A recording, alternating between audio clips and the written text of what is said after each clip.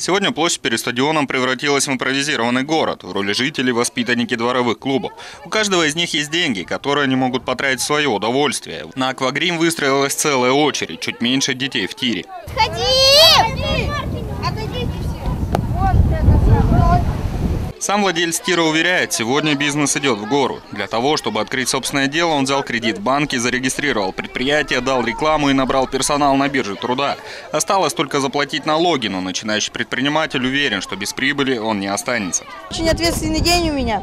Я ответственный за тир, и как уже много народу пришло, такие большие очереди выстраиваются у нас. Впрочем, для того, чтобы заработать деньги, не обязательно открывать свой бизнес. Можно положиться на удачу и сделать ставку в казино. 13.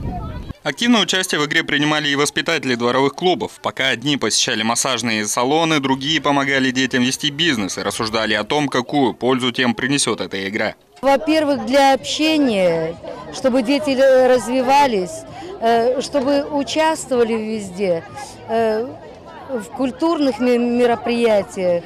Однако организаторы уверяют, что цель мероприятия несколько иная – научить детей зарабатывать деньги, ведь чем больше их останется у участников в конце игры, тем лучший приз они получат.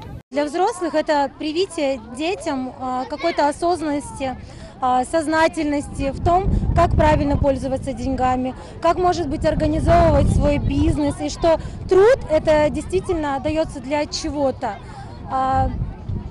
Ну, это для взрослых. Для детей это, конечно, увеселительная программа, где в игровой форме они как раз-таки на себя принимают все то, чем живут взрослые в нашем мире.